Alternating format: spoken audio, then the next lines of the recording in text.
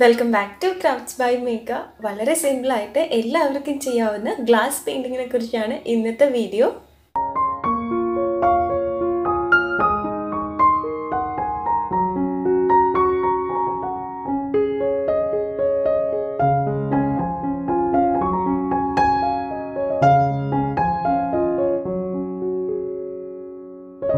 Glass പെയിന്റിങ്ങിൽ രണ്ട് type glass painting ആണ് വരുന്നത്. വാട്ടർ ബേസ്ഡും സോൾവെന്റ് ബേസ്ഡും ആണ്. അപ്പോൾ ഇത് തമ്മിലുള്ള മെയിൻ ഡിഫറൻസ് എന്ന് വെച്ചിട്ടുണ്ടെങ്കിൽ ഇതിന്റെ കൺസിസ്റ്റൻസി ആണ്. വാട്ടർ ബേസ്ഡ് എന്ന് വെച്ചിട്ടുണ്ടെങ്കിൽ കുറച്ച് നേരിയ ടൈപ്പാണ് പക്ഷേ സോൾവെന്റ് ബേസ്ഡ് എന്ന് വെച്ചാൽ കുറച്ച് കട്ടിയുള്ള ടൈപ്പാണ് അപ്പോൾ ഞാനിവിടെ ചെയ്യുന്നതെന്ന് വെച്ച് കഴിഞ്ഞാൽ ദാ വാട്ടർ ബേസ്ഡ് ഗ്ലാസ് പെയിന്റിംഗ് ആണ് ഞാനിവിടെ എടുത്തേക്കുന്നത്. അപ്പോൾ ഇങ്ങനെ ഒരു പാക്കറ്റ് ഇതെന്ന് വെച്ചാൽ ഫെവിക്രിലിന്റെ ആണ്. അപ്പോൾ ഇങ്ങനെ ഒരു പാക്കറ്റ് എന്ന് വെച്ച് കഴിഞ്ഞാൽ നൂറ്റിപ്പത്ത് രൂപയാണ്. വൺ ടെൻ റുപ്പീസ് ആണ്. അപ്പോൾ ഇതിലെന്ന് വെച്ചിട്ടുണ്ടെങ്കിൽ പത്ത് ടൈപ്പ് കളേഴ്സ് ആണ് വരുന്നത്. പിന്നെ ഒരു ലൈനർ വരുന്നുണ്ട്. ബ്ലാക്ക് ലൈനർ ആണ് വരുന്നത്. അപ്പോൾ ഇതെല്ലാം നമുക്ക് സെപ്പറേറ്റ് ആയിട്ട് വാങ്ങിക്കാനും പറ്റും. ബോക്സ് ആയിട്ട് വാങ്ങിക്കുമ്പോഴെന്ന് വെച്ചിട്ടുണ്ടെങ്കിൽ ഞാൻ പറഞ്ഞില്ലേ പത്ത് കളേഴ്സാണ് ഇതിൽ വരുന്നത്. അപ്പോൾ ഏതൊക്കെ കളേഴ്സാണ് വരുന്നതെന്നുള്ളതും ഇതിന്റെ പിറകിൽ എഴുതിയിട്ടുണ്ട്. Tomato red golden yellow sea blue crystal green brown orange white ultramarine blue black pink ഇത്രയും കളേഴ്സാണ് ഇതിൽ വരുന്നത്. നമുക്കിതിൽ തീർന്നിട്ടുണ്ടെന്നുണ്ടെങ്കിൽ നമുക്ക് സെപ്പറേറ്റ് ആയിട്ട് നമുക്കിത് വാങ്ങിക്കാനും പറ്റുന്നതാണ്. അതുപോലെ തന്നെ ഇതിലൊരു ഗ്ലാസ് ലൈനർ വരുന്നുണ്ട്. അത് ബ്ലാക്ക് ആണ് വരുന്നത്.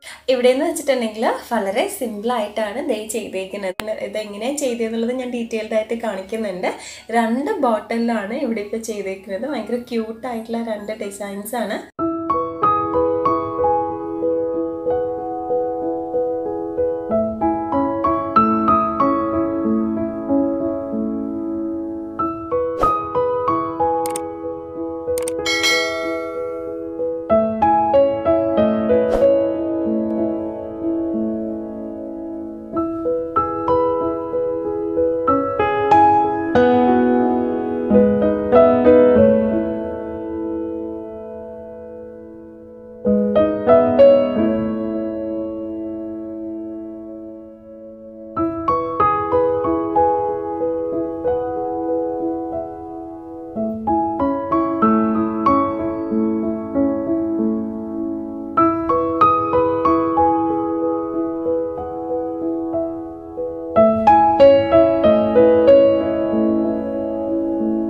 ഗ്ലാസ് ലൈനർ എന്ന് വെച്ചിട്ടുണ്ടെങ്കിൽ ഈ ടൈപ്പാണ് ഗ്ലാസ് ലൈനർ അപ്പോൾ ഇതെന്ന് വെച്ചിട്ടുണ്ടെങ്കിൽ ബ്ലാക്ക് ആണ്. നമ്മുടെ ഈ ഒരു പാക്കറ്റിൽ വരുന്നത് ബ്ലാക്ക് ആണ്.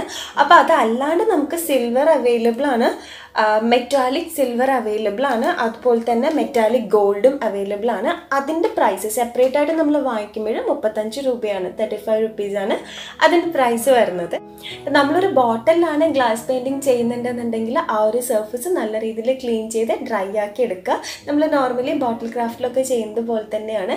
ഇനിയിപ്പോൾ അതെല്ലാം നമുക്ക് ടു എം എമ്മിന്റെ അല്ലെങ്കിൽ ത്രീ എം എമ്മിന്റെ ഗ്ലാസിന്റെ ഷീറ്റ് അവൈലബിൾ ആണ്. അപ്പോൾ അതിലും നമുക്ക് ഈ ഒരു ഗ്ലാസ് പെയിന്റിങ് ചെയ്യാവുന്നതാണ്. അപ്പോൾ നമുക്കിപ്പോൾ അത് വാങ്ങിക്കേണ്ട ഒരു കാര്യമില്ല. കാര്യം എല്ലാവരുടെ കയ്യിലും ഗ്ലാസ് ബോട്ടിലൊക്കെ അവൈലബിൾ ആണ്. അപ്പോൾ അതിൽ നമുക്ക് ചെയ്തെടുക്കാവുന്നതാണ്.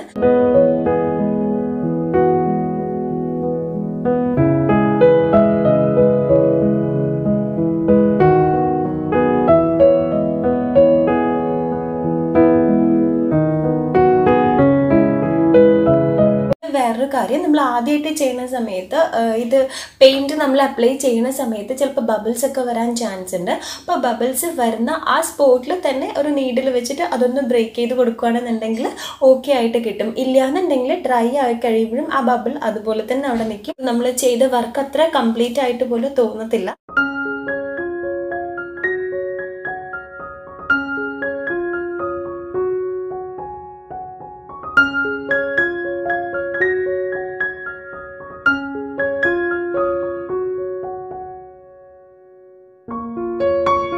വളരെ സിമ്പിളായിട്ട് എല്ലാവർക്കും ട്രൈ ചെയ്യാൻ പറ്റിയ അത്രയും സിമ്പിൾ ഡിസൈൻസ് ആണ് ഞാനിവിടെ കാണിച്ചു തന്നേക്കുന്നത് ഇതിന്റെ ഒരു മെയിൻ കാര്യം എന്ന് വെച്ചിട്ടുണ്ടെങ്കിൽ നമ്മളിത് ചെയ്ത് കഴിഞ്ഞാൽ ആദ്യം ഈ ഒരു ലൈനർ വെച്ച് നമ്മൾ ചെയ്യുന്നില്ലേ? ആദ്യം.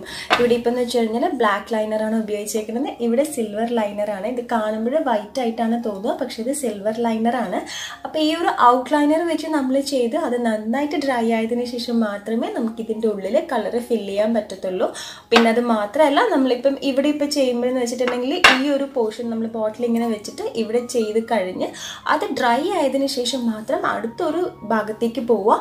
ഇല്ലയെന്നുണ്ടെങ്കിൽ നമ്മുടെ പെയിന്റ് ഇങ്ങനെ ഒലിച്ചു പോകാനൊക്കെ ചാൻസ് ഉണ്ട്. അങ്ങനെയുള്ള കാര്യങ്ങൾ ശ്രദ്ധിച്ചാൽ നമ്മൾ എപ്പോഴും സൂക്ഷിക്കേണ്ട ഒരു കാര്യം നമ്മളൊരു പെയിന്റ് എടുത്തു അതിന്റെ ക്യാപ്പ് അഴിച്ചു കഴിഞ്ഞാൽ നോസിലിന്റെ അവിടെയൊക്കെ പെയിന്റ് സ്റ്റിക്കായിട്ടുണ്ടാകും അപ്പോൾ അതൊന്ന് ടിഷ്യൂ വെച്ചിട്ടോ അല്ലെങ്കിൽ ഒരു കോട്ടൺ ക്ലോത്ത് വെച്ചിട്ടോ ഒന്ന് വൈപ്പ് ചെയ്ത് കൊടുക്കുക ശേഷം നമുക്ക് പെയിന്റ് ചെയ്യാം.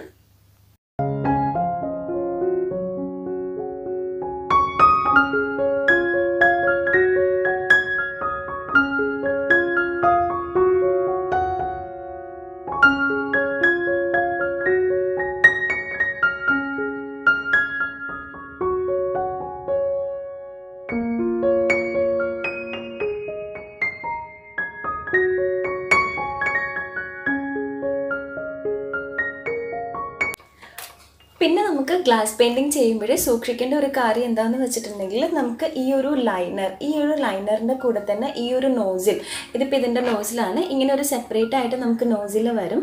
അപ്പം നമ്മൾ ഈ ഒരു ലൈനർ ഉപയോഗിച്ച് കഴിഞ്ഞിട്ടുണ്ടെങ്കിൽ നമുക്ക് ഇത് അഴിച്ച് മാറ്റിയിട്ട് നമ്മൾ വെക്കേണ്ടതാണ്. ഗ്ലാസ് ലൈനറിന്റെ നോർമൽ ക്യാപ്പാണിത് നമ്മൾ ഈ ഒരു ക്യാപ്പ് മാറ്റിയിട്ടാണ് നമ്മൾ നമ്മൾ വർക്ക് ചെയ്യാൻ വേണ്ടിയിട്ട് നമ്മൾ വേറൊരു നോസിൽ ഇടുന്നത്. ഇതിന്റെ കൂടെ തന്നെ വരുന്ന നോസിൽ ഇടുന്നത്. നമ്മുടെ വർക്കൊക്കെ കഴിഞ്ഞതിന് ശേഷം നമുക്ക് നോസിൽ മാറ്റിയിട്ട് നോർമൽ ക്യാപ്പ് തന്നെ ഇട്ട് വെക്കണം. ശേഷം നമുക്ക് ആ ഒരു നോസിൽ നല്ല രീതിയിൽ കഴുകി വൃത്തിയാക്കിയിട്ട് സൂക്ഷിച്ച് വെക്കുകയും ചെയ്യണം. കഴുകാൻ വേണ്ടിയിട്ട് നമുക്ക് സോപ്പൊന്നും യൂസ് ചെയ്യേണ്ട ആവശ്യമൊന്നുമില്ല. നമ്മുടെ പൈപ്പ് ഓൺ ചെയ്തിട്ട് നമുക്ക് വെള്ളത്തിന്റെ ഇടയിലേക്ക് ഈ ഒരു നോസിൽ വെച്ച് കൊടുത്താൽ മതി. ഇനി അതിന്റെ ഉള്ളിൽ പെയിന്റ് ഉണ്ടെന്നുണ്ടെങ്കിൽ ചെറിയൊരു നീഡിലെടുത്തിട്ട് ജസ്റ്റ് ഒന്ന് ദാ പോലെ ഒന്ന് ചെയ്ത് കൊടുത്താൽ മതി. പെയിന്റ് എല്ലാം പൊയ്ക്കോളും. ശേഷം നമുക്ക് നന്നായിട്ട് ഡ്രൈ ആക്കിയിട്ട് അത് സൂക്ഷിച്ച് വെക്കാം. ഇല്ലയെന്നുണ്ടെങ്കിൽ നമ്മൾ ഇങ്ങനെ ചെയ്തിട്ടില്ല എന്നുണ്ടെങ്കിൽ അതിന്റെ ഉള്ളിൽ പെയിന്റ് ഉണ്ടാകും. ആ ഒരു പെയിന്റ് അവിടെ കിടന്ന് ഡ്രൈ ആകും. നമ്മൾ അടുത്തൊരു പ്രാവശ്യം നമ്മൾ വർക്ക് ചെയ്യാൻ വേണ്ടിയിട്ട് നമ്മൾ ഈ ഒരു ഗ്ലാസ് ലൈനർ എടുക്കുമ്പോഴത്തേക്കും അവിടെ പെയിന്റ് കട്ട കെട്ടി കിടക്കുന്നതുകൊണ്ട് നമുക്കത് വെച്ച് വർക്ക് ചെയ്യാൻ പറ്റില്ല. ഇങ്ങനെ നോസിൽ നമുക്ക് എക്സ്ട്രാ വാങ്ങിക്കാനും പറ്റില്ല. വളരെ ക്യൂട്ടായിട്ടും അതുപോലെ തന്നെ വളരെ സിമ്പിളായിട്ടുള്ള ഡിസൈനാണ് നമുക്കിത് വാർണിഷ് ഒന്നും ഇതിൽ അപ്ലൈ ചെയ്യേണ്ട ആവശ്യമില്ല. നമുക്ക് വാട്ടർ ബോട്ടിലായിട്ട് നമുക്കിത് ഉപയോഗിക്കാവുന്നതാണ്. കുറച്ചൊക്കെ വെള്ളമായാലും കുഴപ്പമൊന്നുമില്ല. നന്നായിട്ട് അത് വൈപ്പ് ചെയ്തെടുത്താൽ മതി. പിന്നെ നമ്മളെന്ന് വെച്ചിട്ടുണ്ടെങ്കിൽ ഇങ്ങനെ ഒരച്ചൊക്കെ കഴുകുമ്പോഴേ പ്രശ്നം വരുള്ളൂ. അങ്ങനെയൊന്നും ചെയ്യാതിരിക്കുക. വാർണിഷിന്റെ ആവശ്യമില്ല ഇതിൽ. ഗ്ലാസ് പെയിന്റിങ്ങിൽ വാർണിഷിന്റെ ആവശ്യമില്ല. പക്ഷെ നന്നായിട്ട് ഡ്രൈ ആക്കാൻ വെക്കണം. ഒരു രണ്ട് മൂന്ന് ദിവസമൊക്കെ ഡ്രൈ ആക്കാൻ വെക്കുകയാണെന്നുണ്ടെങ്കിൽ നല്ല രീതിയിൽ നമുക്കിത് ചെയ്തെടുക്കാൻ പറ്റുന്നതാണ്. ഒരുപാട് കാലം നമുക്കിത് യൂസ് ചെയ്യാനും പറ്റുന്നതാണ്